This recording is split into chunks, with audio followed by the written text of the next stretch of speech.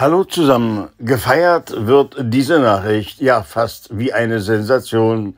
Auch im dritten Triell, also das ist ein Duell plus ein, äh, feiert wiederum Olaf Scholz einen Blitzsieg bei der Umfrage in der Wählergunst.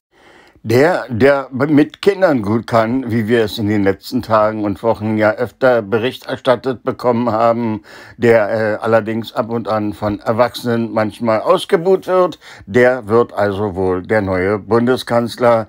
Gut, wir finden diese Nachricht so sensationell, dass wir da eine sensationelle Blitzeilmeldung mal draus machen mussten. In diesem Sinne wünschen wir euch eine gute Nacht, liebe Bundesbürger. Äh, ach nein, es ist ja erst äh, Vormittag. Wir wünschen euch also einen guten Tag.